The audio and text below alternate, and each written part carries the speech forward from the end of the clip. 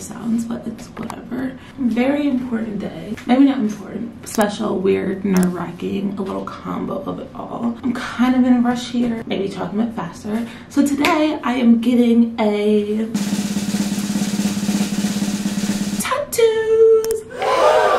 know, kind of crazy. This is me talking to my past self or future self. Obviously, my whole life, I can't exactly say I've always wanted a tattoo. I didn't have anything wrong with tattoo. Also, sorry if my skin's like super dry and stuff. Like I'm literally just woke up. I was never against tattoos. I like them. Obviously, the trend of tattoos during the times when I was younger were more, I'm not gonna say like the right word, be like American traditional, just like the big sleeves with the big designs. And obviously, I never liked pain. I still don't like pain. But I never liked it, so it was like, why would I want to intentionally like hurt myself? Because word around the block is that tattoos fucking hurt, right? I feel like combo the recent years, like I love the scrapbook look, minimal, really tiny tattoo, micro tattoos, and I was like, wait, that's like low-key perfect for me. I love how those look. I love everything about them. I feel like with that, and then plus Joe got a tattoo last, let's just say like in the last year. It was January or something like that.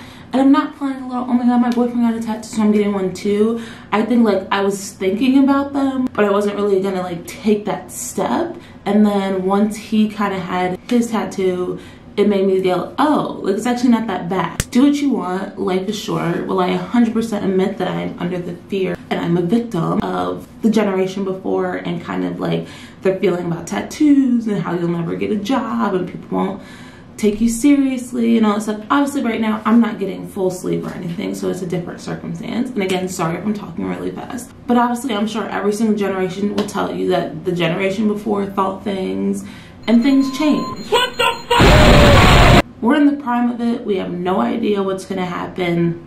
Shit changes. I feel like nowadays more people are getting tattoos. Like it's more common to find someone like, oh you have a tiny one like right here. Yikes, that's why I'm getting one. But Anyway, that's kind of the whole journey that I'm at. I got here, I was like, oh, I really want to get one. Or this appointment, I did a lot of research, found a lot of people. So I'm actually at two sessions. This week, I'm getting tattoos done by, I don't know if I'm pronouncing it correctly, I'll figure it out later. Tivas Tattoos. Absolutely love his work. It's absolutely beautiful. I'm going with Tivas for this one. In two weeks, I know, I'm getting a butterfly tattoo by a female artist, which I'm excited about. I'm excited about today. I gave you a quick rundown. Now let me kind of describe my tattoos that I'm planning on getting. Tattoo number one I'm getting is just a tiny heart.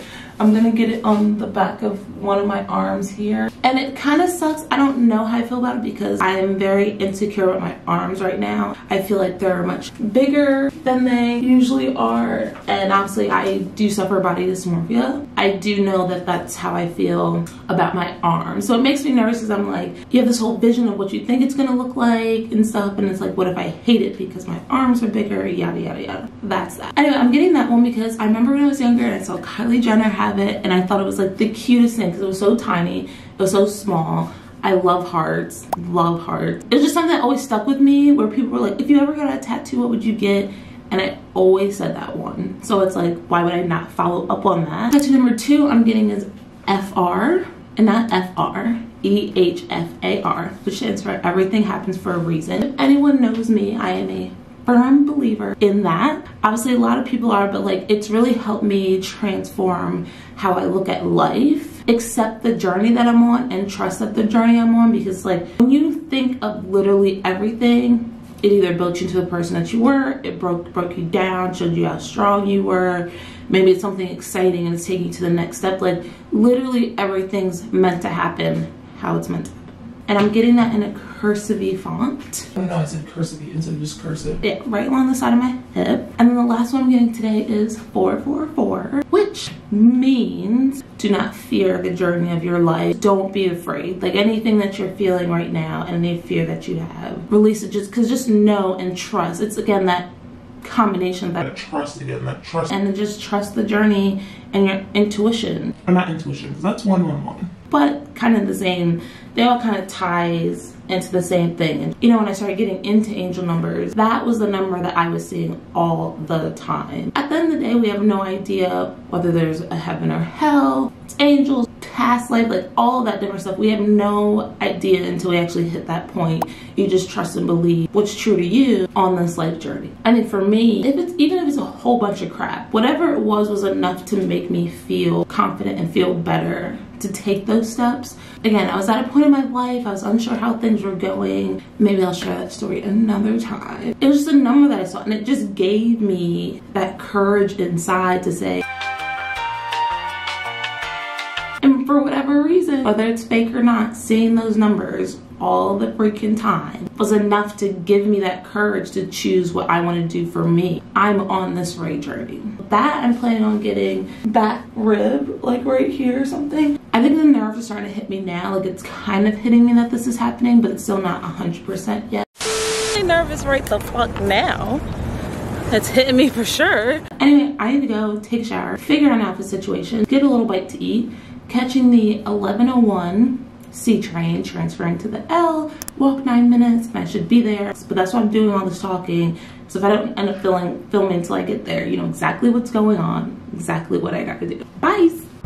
Outfit choice. Because this here, easy lift, has my head's on low right now. Easy tray, able to get here or take it off. Um, Arm, pretty obvious. I wear this dress all the time.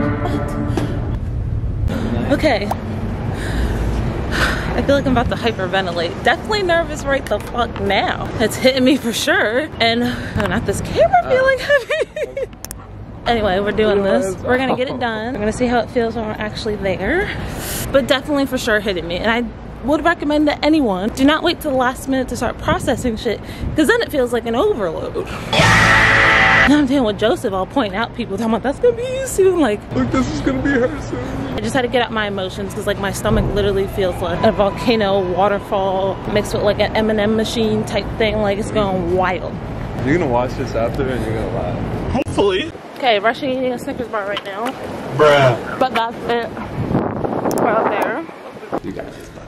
Okay, so we had elevator situation where we spent like 15 minutes in that other place trying to get in the elevator, and basically we had to come to this other side, and They gave us a special passcode. and we have a special elevator. I feel so bad because now I'm gonna be like, hey, sorry I'm late, elevator situation. Also, can I vlog?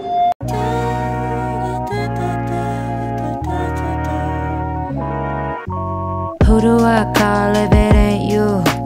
Tell me who to call if it ain't you. I've been pacing circles in my bedroom.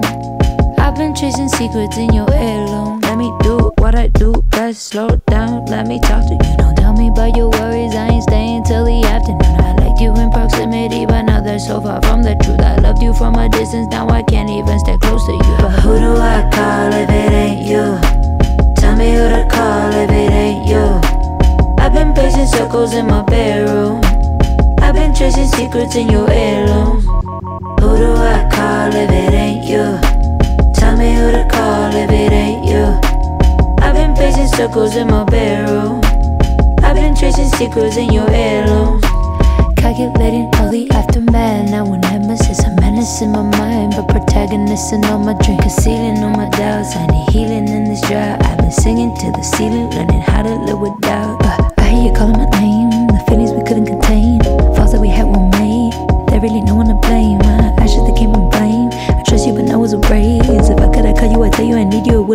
to say. But who do I call if it ain't you?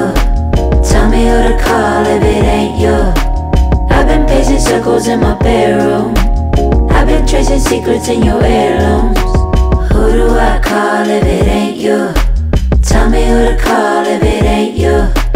I've been pacing circles in my bedroom. I've been tracing secrets in your heirlooms.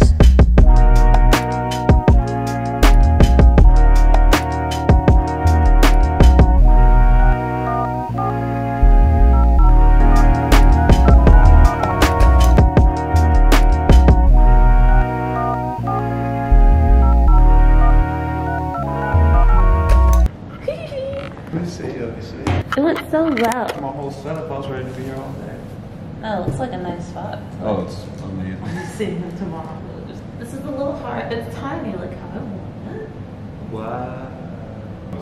Next one. Wow. This one. Wow. How do you like? They're like literally perfect. Like the sizing makes was you so perfect. happy.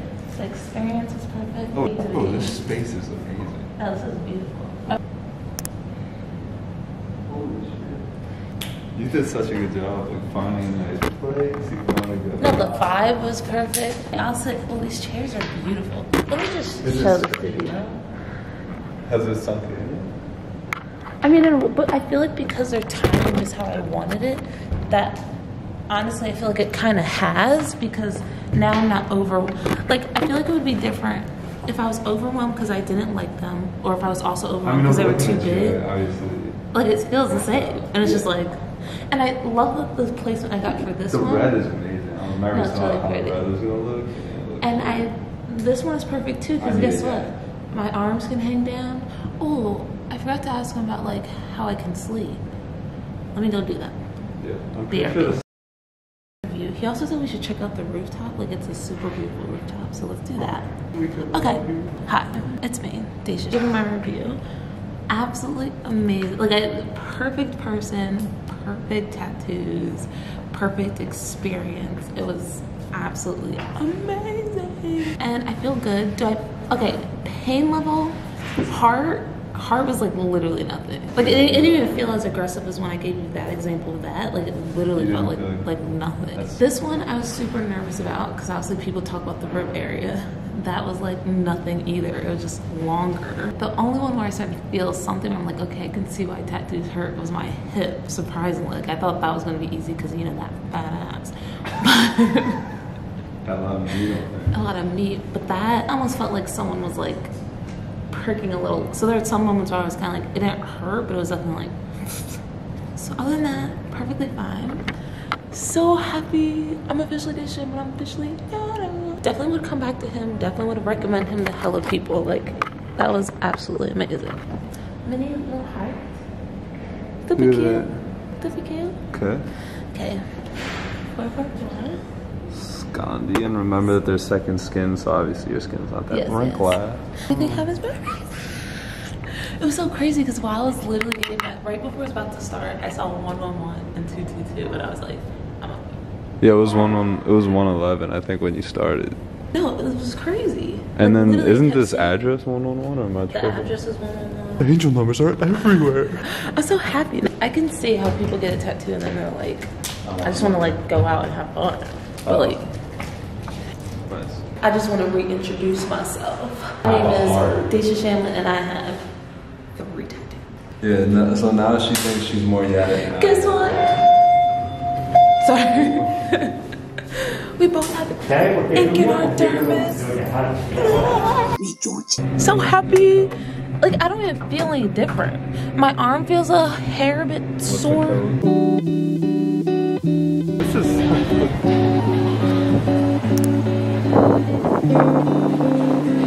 It's the most Brooklyn shit, man.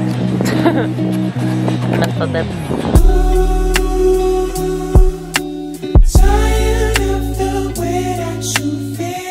Feel. Is it real?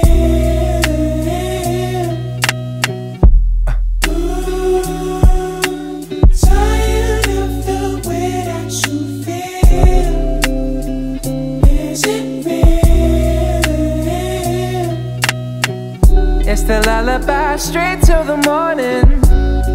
Oh, how we keep it going. This love is only moments, girl. Know the world. So just fuck me like the cyborg. Save me from all of the pain and the drama. I'm playing whisper down the lane with my problems. Hope it's somebody gonna solve them. And so I lose myself in labor. Time to cry when the day's filled. But when the lights turn low and there's no one here, can I shed a tear? Can you lullaby me? So baby, can you love it? I really want that la la lullaby. So love my body, lullaby oh, me, oh, love my body. Ooh, so baby, can you love, yeah. I really want that la la lullaby. Got the Yeah. Like I should just handle this marshmallow, but like, Jesus, that was cold.